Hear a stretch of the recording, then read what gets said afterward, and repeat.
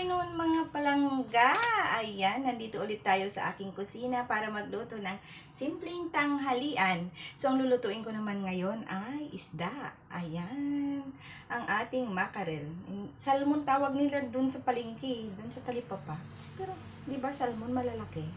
So, ayan, in-slice ko na. So, lulutuin natin itong mackerel curry in coconut milk. Ayan. Ayan mga palangga. And then, syempre, gagamit na lang tayo ng fresh gata. May nabibiling instant na nakapack. Ayan. Kasi hindi na ako lumabas para bumili. And syempre, yung ating curry powder. Ito yung ginagamit ko. Na curry powder. And then, at syempre, ang ating bawang sibuyas at saka yung ating luya. Tapos, as usual, hindi na, ito na lang ang nasa ref. Bell pepper. At saka meron akong kunting dahon ng wala, hindi ko nakalimutan ko. Mm. Ano na to? Itong dahon na to. Mamaya maaalala ko rin ito. Ayan. ano, minsan naman yung talablock ako. Tapos gamit din tayo ng paper at saka patis. Pero ang procedure ko mga palangga, piniprito ko muna yung ating isda. So, iprito muna natin. Nag-iinit na rin ako ng mantika, mga palangga. So, ayan. I-fry muna natin, mga palangga, ang ating isda. I-slice ko siya para ano, mas maliit siya.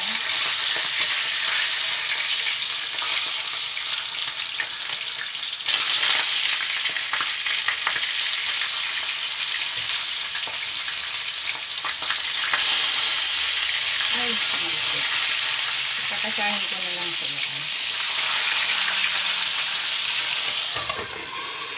Ayan. So, antayin lang natin siyang maprito mga palangga.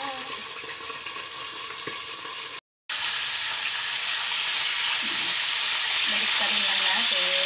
Hindi naman natin sa tutostahin ito. Basta naprito lang siya. Mas gusto ko kasing gataan.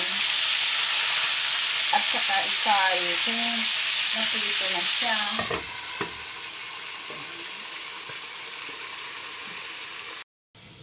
Ayan. Sibawa, ay si, ano to? Sibuya.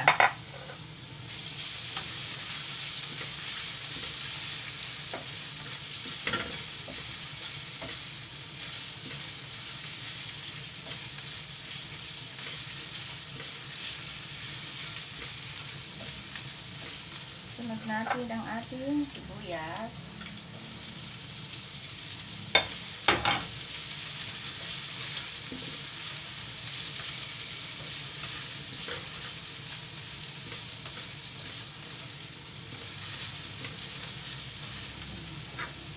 Si bawang. This is one. Yung dagdag natin mga palangga ng kamyangka. Kamyangka.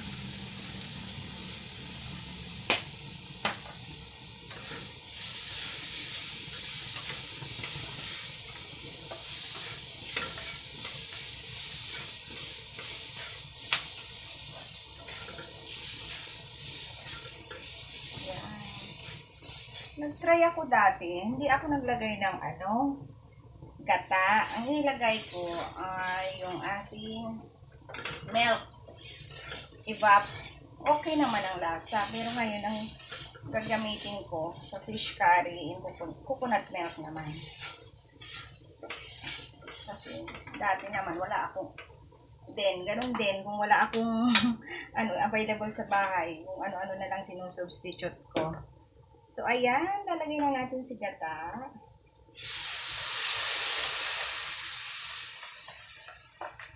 Dalawahin ko na. Ayan. Ganun na lang kasimple kasi naprito na natin si isda.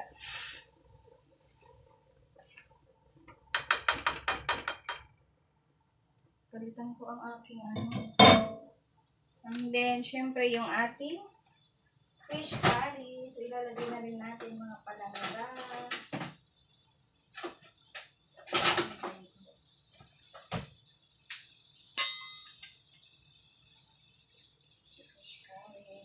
Gusto ko marami. Ang ano kaya nito? Ang bango niya. Gusto, gusto ko siya. Tapos maglalagay na rin tayo ng tawag dito mga palangga. Patis. Patis. Yun ang gagamitin ko, patis.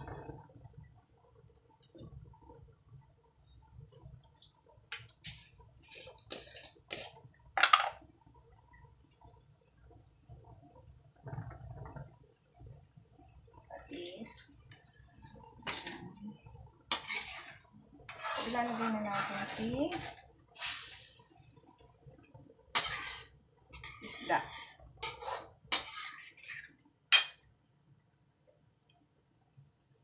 Let's go, isda. Ayan.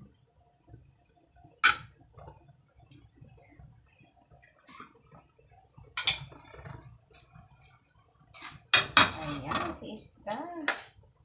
At syempre yung gulay natin. Alam ko na mga palangga. Naalala ko na si gulay. Si pichay.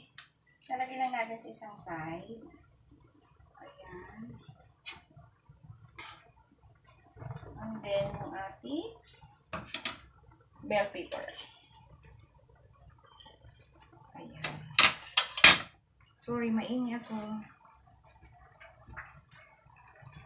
So, as usual, papaluan lang natin. Lutuin lang natin maluto. See? Tsaka medyo lumapot. Pero syempre, titikman ko para makapag-adjust ako ng lasa. Um, dadagdagan ko siya ng cayenne pepper. Looks good. Pero kailangan ko ng kunting salt.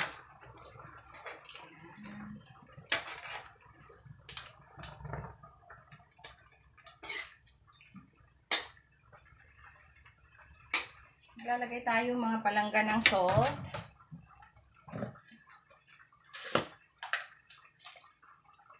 Kunti lang. Ayan. So, mixer natin. Ayan, si Pichay.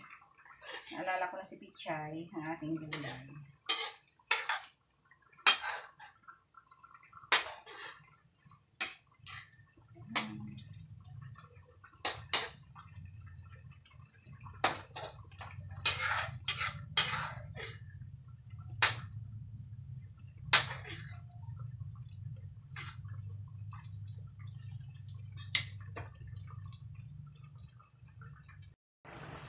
Ayan, this is it mga palangga.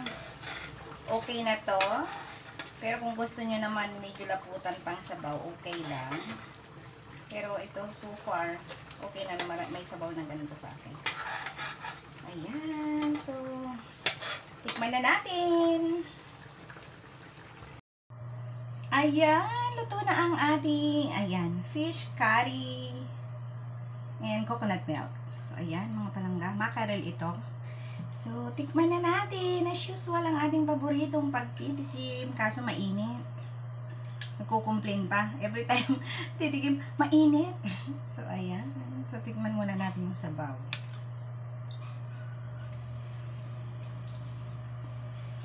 Masarap siya. May, may alat.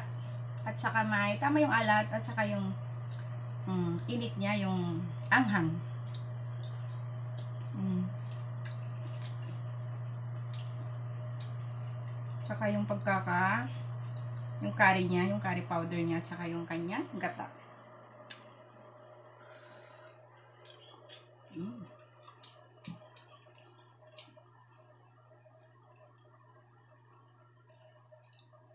May tinik. Ayan mga palangga.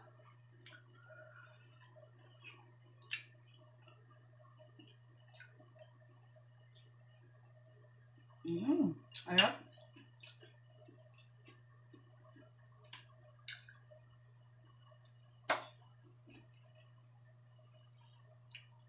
Anyway, thank you very much and please don't forget to subscribe sa mga hindi pa po nakapag-subscribe. Please.